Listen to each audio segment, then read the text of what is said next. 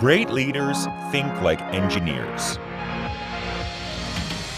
In 2014, engineers accounted for almost 25% of the top 100 global CEOs listed in the Harvard Business Review.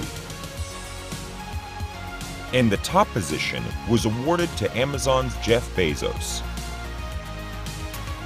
Engineers are not only leading traditional technology companies, they are also bringing innovation to other environments.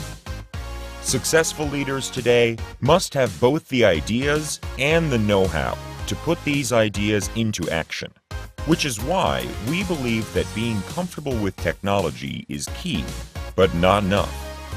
In this course, our team of professors and experts will work with you to explore the context that today's leaders are facing building an understanding of the complexities of the global and business challenges.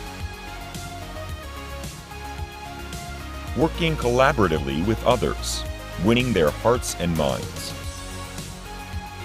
You will acquire the knowledge you need to put yourself and the context together and make the career choices to expand your reach.